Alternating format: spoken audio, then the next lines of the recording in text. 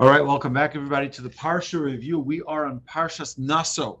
Naso is the second portion in the book of Numbers, Bamidbar, and it is the 35th portion since the beginning of the Torah. As we know, there are 54 portions in the entire Torah, and this is number 35 of those 54.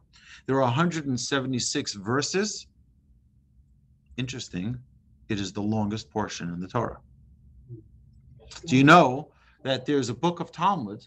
The longest book of Talmud is 176 pages. Very good. Very good. Um, and that is the book of Bava Basra, also 176 pages. Uh, but there are 2,264 words, 8,632 letters. If you see that's on the top, right on the top. Right? So the question is, why do we every week, at almost ad nauseum, repeat the amount of letters, words, and verses? There's not one extra and there's not one missing. That's correct. Not one extra letter in the Torah. Every letter that's in the Torah needs to be there. And if it's not there, there's a reason for it. The Torah is not like you read a book and uh, Tom Clancy or whoever the going uh, bestseller today is, um, they write words at leisure, whatever they want to express them, themselves. The Torah is God's document. Just like his creation is perfect, his Torah is perfect. There's not one word missing, not one word extra. So there are 18 mitzvahs in this week's Torah portion. There's seven performative mitzvahs and 11 prohibitions. This portion still talks, like we did last week, about the encampment around the tabernacle. So we begin. In the United States or outside of Israel, this parsha is always the parsha after or that follows Shavuot. Bamidbar is always the one that precedes Shavuot. Okay? In Israel, it's not the case. In Israel, they already read Parshas Naso last Shabbos. They're one ahead of us. Because if you remember, the last day of Pesach for us was Shabbos. By them, it wasn't Pesach already, because they only have one day of Passover. So they already read that week's Torah portion. We were still reading a holiday Torah reading. The following week, they're the next week's Torah portion, and we're reading. So we're one at the end of the book of Numbers, Matos Masei, we're going to catch up. We're going to do a double portion there. So we talk about this Torah portion begins with the distribution of responsibilities and recounting of the people. What are the distributions of the responsibilities? The Torah assigns the exact Mishkan related tasks to be performed by the families of Gershon, Kohas, and Merari, the sons of Levi. You remember last week we mentioned that some of those tasks, for example, the carrying of the, the, the menorah, was done specifically by the family of Kohas. That was their responsibility. That was their task. And they were the only ones who were allowed to deal with the menorah. Uh, other parts were dealt with by other family members. Gershon, Kahas, and Merari, the three sons of Levi, they had different distribution of responsibilities regarding the Mishkan. A census, a census, another census is taken. Remember, the book of Numbers is called the book of Numbers because of the numbers of the counting of the Jewish people. So we'll see numerous times throughout this book of Numbers that the Jewish people are being counted. In this case here, um, the census reveals that over 8,000 men were ready for such service in the temple. This was another counting. Okay, purification of the camp, holiness. What is holiness? Anybody know what holiness is? Holiness, many people think, when you think of something holy, you, you, you, well, many times we think it means solitude or distanced from. It means connection, right? You know that. You've been to a class or two. So, holiness means that you're able to connect to godliness. One is able to connect to godliness. It's not that you're isolated and distanced from. On the contrary, it's that you're able to take the things around you and elevate them. So we defined it in one of our classes. We talked about holiness. We spent a lot of time talking about it. But all those ritually impure are to be sent out of the encampments. Okay, so if we are a community and there are people who are impure, them being in the community would be an impurity for everyone there. So therefore, you send them out. You send them out of the camp. They shouldn't be among the other people. This is an interesting thing because you might think in our society that we're in today, well, if you're holy, you leave. That's the chutzpah we have in our generation, right? It's like if if I have a problem, if I'm not the problem, you're the problem that you don't have the problem. Hmm. Okay? Interesting world we're living in. But either way, the Torah tells us that when someone has this impurity, they have to leave the camp. I will tell you that um, Rabbi Brody was recently in Houston, and as righteous people do, they go to the mikvah as frequently as they can. Now, men are able to use a swimming pool as a mikvah. So we had the privilege of having Rabbi Brody use our pool in our home as his mikvah. Right, chlor- chlorine dust, definitely. Uh, but but it, it's not it's because there's no biblical obligation for a man to use a mikvah. There's only a biblical commandment for a woman to use a mikvah. In such case, a woman cannot use a pool like ritual bath. A man can, except if it was one of the biblical contaminations, like the mitzvah, that would not suffice to be in a swimming pool. That would need an actual ritual bath um, that is a biblically uh, permitted ritual bath. And all you all you do this is an interesting sum, a sidebar. If we're already talking about the mikvah, the mikvah would entail for anyone using a mikvah that there be no barrier between you and the water. That means if I had a ring or a watch on my hand or a bathing suit on me, that would be a barrier or known in, in the halacha term as a chatzitza, something which is a barrier between the skin and the water. So you have everything removed. And a woman who goes to the mikvah, which is a biblical commandment, they make sure that there's no nail polish. They make sure that there are no hairs that are knotted together. They make sure that their nails are cut, that their everything is right. So they don't go with a fresh coat of nail polish and no makeup. All of it is clean, clean. Then they go into the into the mikvah. Um, I realized yesterday when I went to the mikvah on Yom Tov, uh, I said, let me try also. So I went into, and I realized I have in my mouth, as many of you can possibly hear, but you for sure know it from being a, listening to a class or two. I'm, I'm currently in middle of the Invisalign process. So these are removable aligners, and therefore they would constitute a barrier in a mikvah. What do they do? They straighten my teeth because they're not permanent. So I, I took them out.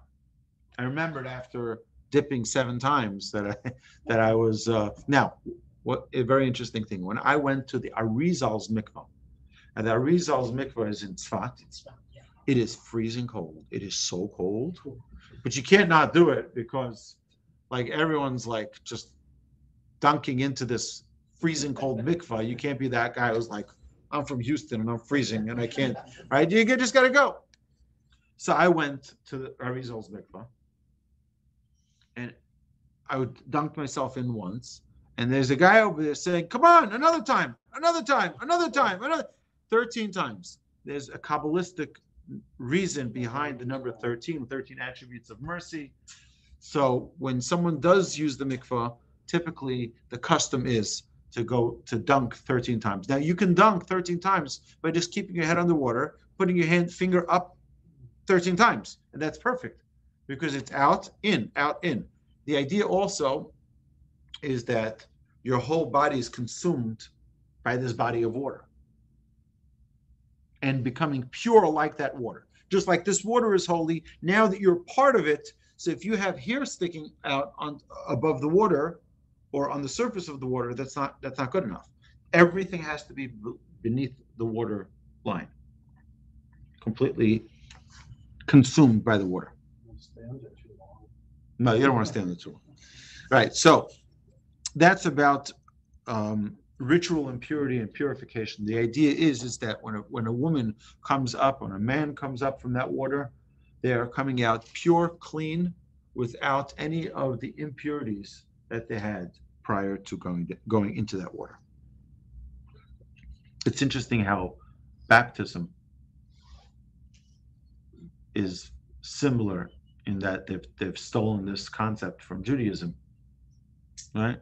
But I have to, mm-hmm. sometimes I have to stay a very long time, at least in the movies I've seen. Stay what? Under the Under water. water. Oh, really? Very long. Oh, Yeah, they dunk them under and they say a prayer and everything. And then they say all sorts of other things. Sometimes you could drown. All right. Well, they didn't take that from us. Okay. So either way, false oaths, repenting for theft, debts. So here we go. If a person, after having sworn in court to the contrary, confesses that he wrongly retained his neighbor's property, he has to pay an additional fifth of the base price of the object and bring a guilt offering as atonement. So let me ask you a question. Do you have a watch? Mm-hmm. Oh, it's a nice watch. All right. So imagine I come over to what did you say name was again? Fer- Fernando. Fernando. Right. So I go over to Fernando and I say, Hey, how you doing? I grab his watch. He doesn't realize. I put it in my pocket. And I'm like, Hey, Fernando, it's great to see you. I'll see you tomorrow. Okay. I walk off with his watch. He says, Hey, sister's dead. He stole my watch. Like, I didn't steal your watch. Right. They take me to court. The court, I said, I did not steal your watch. And then I have two kosher witnesses here, and they say, uh, Rabbi, we saw you steal the watch. I'm like, I didn't steal the watch. So if it's just a a an item, you have to pay double. You get two Apple Watches now. Ooh, not bad, right? You have get two if there are witnesses. Okay. But what happens if I steal an animal? If I steal an animal, and you know what I did? I didn't keep the animal inside my pen, inside my uh, barn. I slaughtered the animal. Now you have no proof it's gone. Witnesses come and they say, "We saw you steal it. We saw you slaughter it." Now you know what you have to pay. Depending on the type of animal, either four or five of those animals. Tavach umachar, if he slaughtered it or he sold it to somebody else. Right? So you don't have a, uh, a uh, VIN number on the animal. There's no VIN number. That's why people brand them. They do, they put on their ears or whatever they put. So, right, but someone goes and sells it now. We go say, "Hey, you have my animal. I don't have your animal. I bought it from that guy. Right? So now you're basically flipping the item or getting or or getting rid of the evidence. You pay four or five, depending on the type of animal. Hefty punishment. But, but, what happens if he admits his guilt? If what? He admits his guilt before they say you're guilty. He says, "Oh, oh, oh before I want to, Your Honor, Your Honor, I was just kidding. I was just kidding. I lied and I wasn't saying the truth." Right. So it depending on what the case is, he just has to return the item and he doesn't have that penalty, right? Because um, the Talmud teaches us that someone who is admitting to guilt doesn't pay the extra penalty. Right, twenty percent meat, right, okay, what, what are you saying? I don't think that makes any sense. Why? Well, you steal something, you say, I stole it. Okay, wait, wait, wait, one second. You want to create a culture where people want to say the truth. There'll be a penalty if you don't say the truth. The problem today is that if it's less than nine hundred fifty bucks, you can, you can smash and grab anything you want in Los Angeles. In California, there's not, right? They're not going to, uh, they're not going to pursue any theft of less than nine hundred fifty dollars. You know that? Yeah. That's craziness. That's not what you're. Well, it's California. What? That's not what this says. No, I'm not saying this. Well, um, even today, all over the country, if you plea bargain and admit your guilt up front, you get a reduced sentence. Right. Right.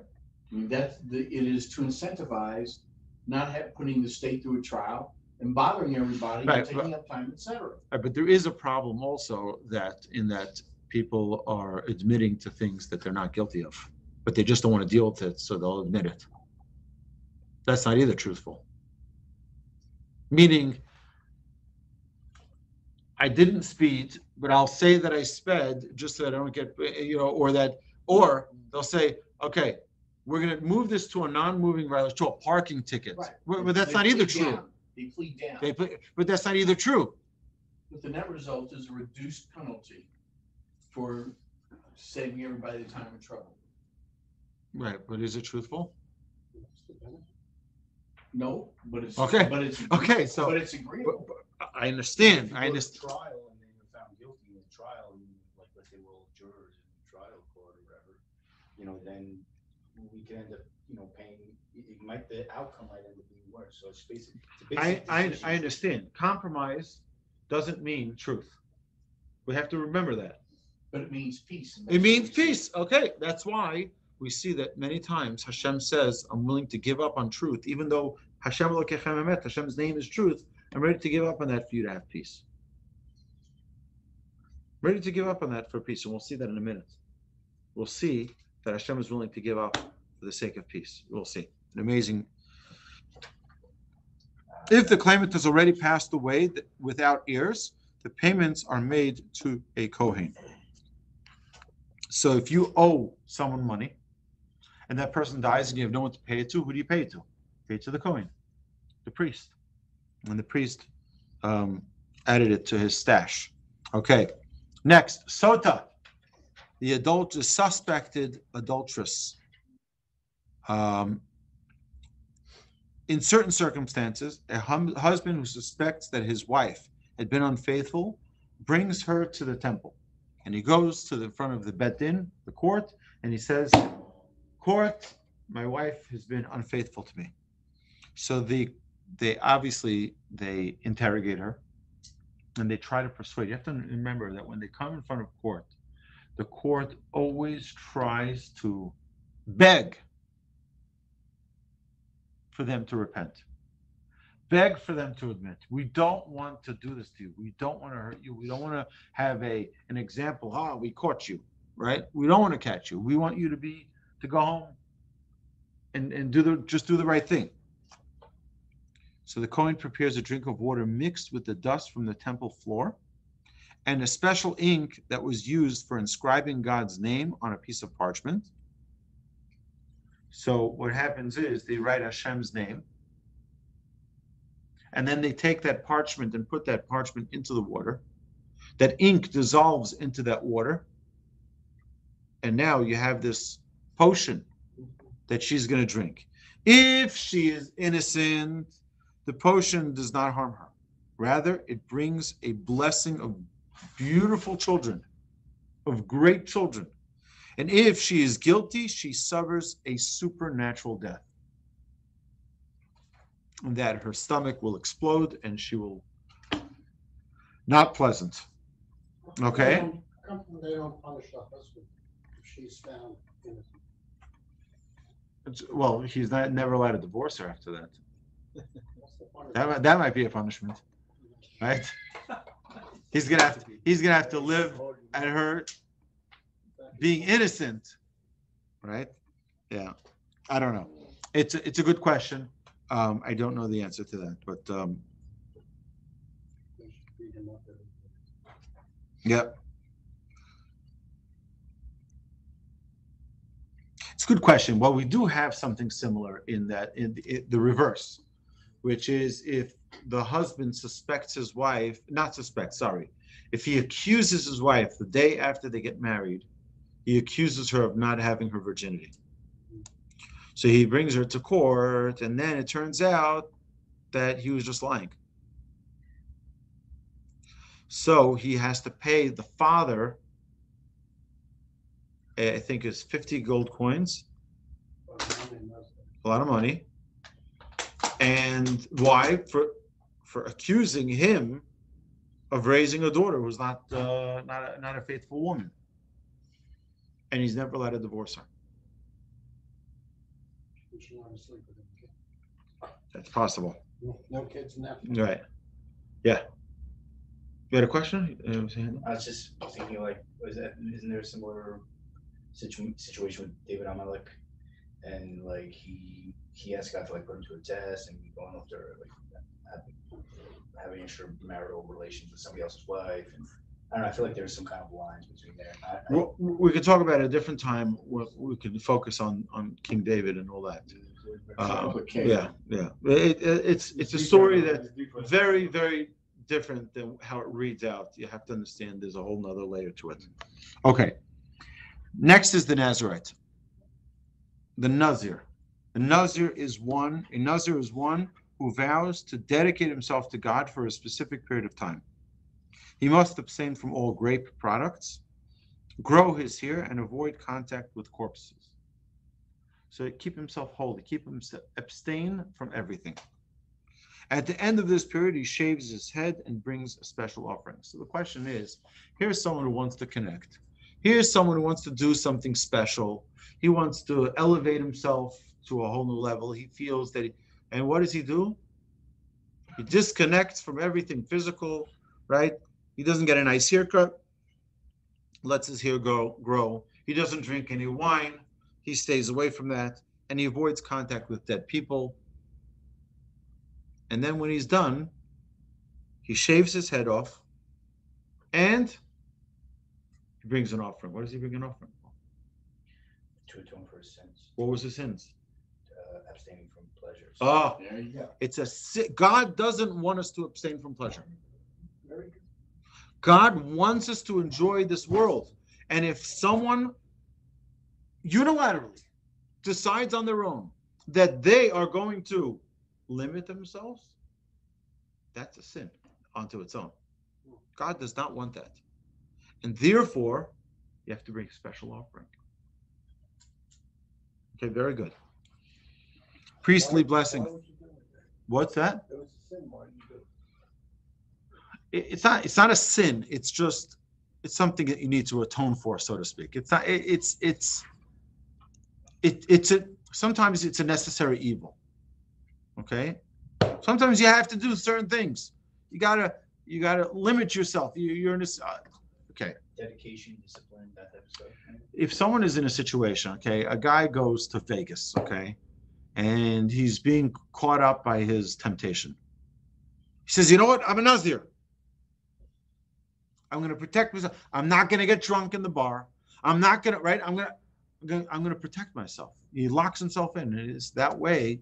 He's, he's, I can't, I can't do any of those terrible things, right? Because I swore that I'm going to, I'm going to be a Nazir right? He did it for a good reason, for a holy reason. But still, God doesn't want you to, to, to, to so you bring an offering. Sometimes you have to do it. Okay? So now, well, here's the big question. Here's the very, very big question. And this Rashi asks this question. Every one of the sages deal with this question. My grandfather talked about this many, many times. Why is there a juxtaposition between the portion of the Sota and the portion of the Nazarite. Why are they one next to each other? One is right next to the other. One second.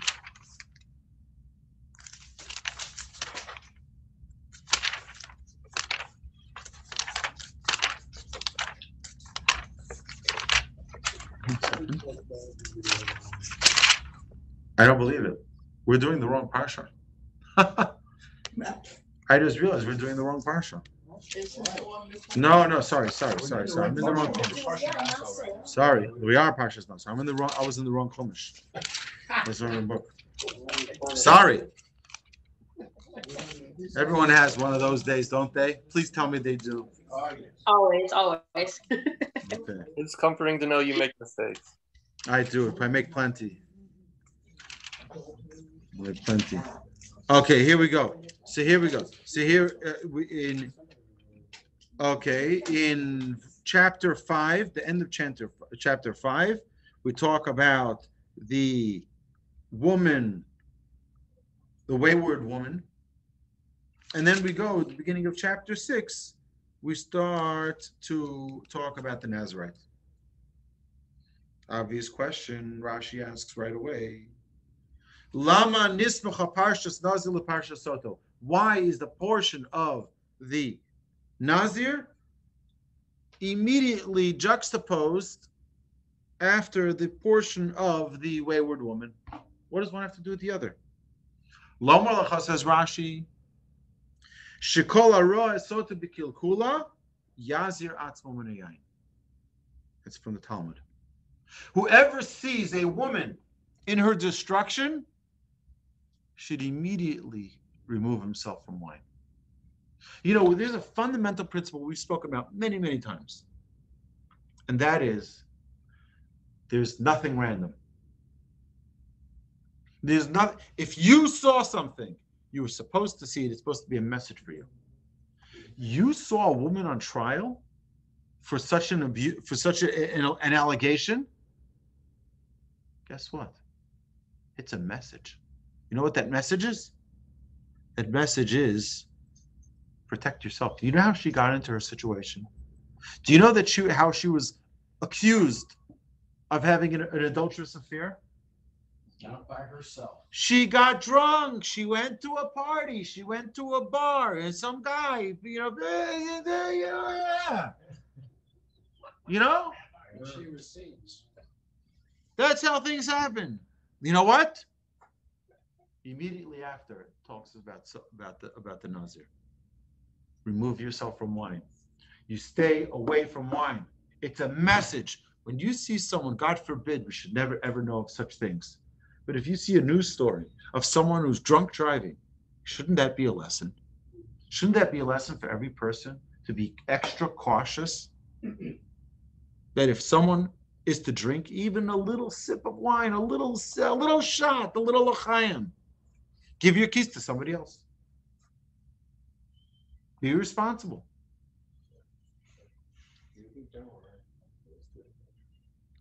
There's you- you're saying over consuming versus alcoholism, right? Um, th- there's there's a big difference. There are people who are alcohol dependent. They need it. I had someone once stay in my house for a little while, and they said to me, "Every time I pass by your bar, I want, I want to, I feel, I, have this urge. I want to take, I want to take something to drink. That's not good. It's not healthy. It's not healthy. Person, once in a while, the end of your day, to just enjoy a nice sip of wine or some. That's something that's different. But that you need it every time. Something wrong. But we're not talking about that. There are messages being sent our way constantly. And we keep pushing them away. We keep pushing them away. We have to take that message, just like the Nazir. He saw, if someone were to see a sota, you see the hearing, the court case of a sota of a wayward woman, what's the wake up call? Wake up call it's time to protect yourself.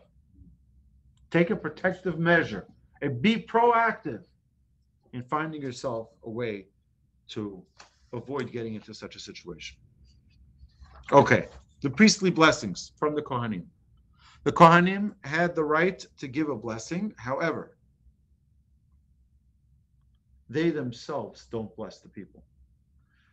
The commandment is. Their job is to put God's name on them, and God will bless them. They're not given special powers to give that blessing. V'samu et b'nei Yisrael. You put my name on the Jewish people, and I will bless them, says God. We, it's a known thing. We, we, we mentioned last week there's no equality, right? We, we mentioned that in the Parsha class. There's no equality. This idea of equality doesn't exist in Judaism. The Kohen had certain privileges that the Levi didn't have, and the Levi had certain privileges that the Israel didn't have, and the Israel had certain privileges that they that the Kohen and Levi didn't have. Everyone was unique. They're different. They're different. They're not the same. There's no equality. Everyone is special in their own way. Everyone has to find their way. See, there's a difference between saying everyone has opportunity and lift people up versus pull people down to try to make equality. We're going to pull you down. You're successful, we're gonna take away your money. We're gonna tax you more. Evil corporations. We're gonna see that soon in the portion of Korach.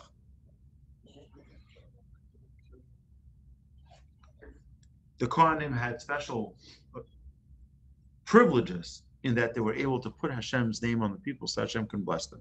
Just yesterday was Shavuot, the holiday of Shavuot, and only on the festivals do the Ashkenazic community and the Ashkenazic synagogues, the priestly blessings are only during the festivals. So Pesach, Shavuot, and Sukkot are times where the priests, uh, the Kohanim, they go, they wash their hands. The Levites wash their hands. They go in the in the in, in the front of the congregation at the end of the Musaf repetition, and they recite the blessing to bless the Jewish people, and they say the blessing uh, on the people. Again, it's a special privilege that they put God's name on the people, and Hashem is the one who blesses them. And the last part of the portion is Mishkan dedication. The Mishkan is completed and dedicated on the first day of Nisan, in the second year after the Exodus. The prince of each tribe makes a communal gift to help transport the Mishkan, as well as donating identical individual gifts of gold, silver, animals, and meal offerings. Now, you'll remember we spoke about this back in the, at the end of Exodus that you had the Nisiim. What's the Nisiim? The leaders of each tribe. Very good. The leaders of each tribe. The leaders of each tribe. They were wealthy people. They were like the the governors. Let's call them the governor of each tribe. They're successful people financially. They did well. They were able to donate what uh, regular lay people weren't able to. So they said, you know what? Let the people donate whatever they can, and we'll donate whatever's left over. Well, there were there were things left over. The gems from the breastplate, which were very expensive, the most expensive. But God saw what was in their heart, and what was in their heart was a little bit of laziness. Because someone who wants to do a mitzvah jumps to do the mitzvah. Someone who doesn't want to do the mitzvah sits back and waits and gives excuses and gives reasons and this and that because because because, but it's not real.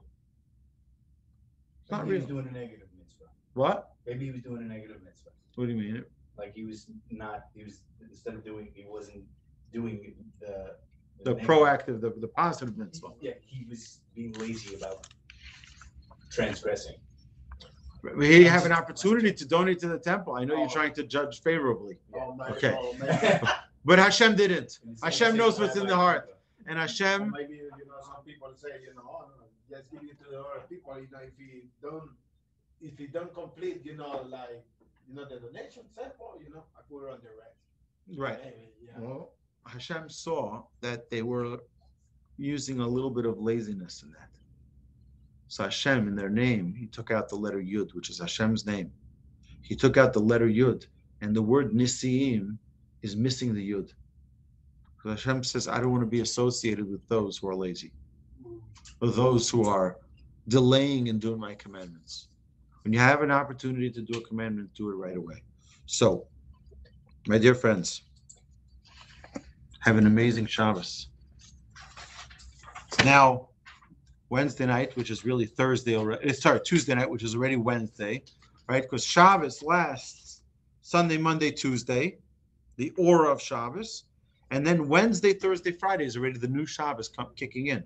So the halacha says you can already wish someone a good Shabbos from Wednesday, and because tonight is already Wednesday, now that it, that the sun is set, therefore I wish you all a good Shabbos.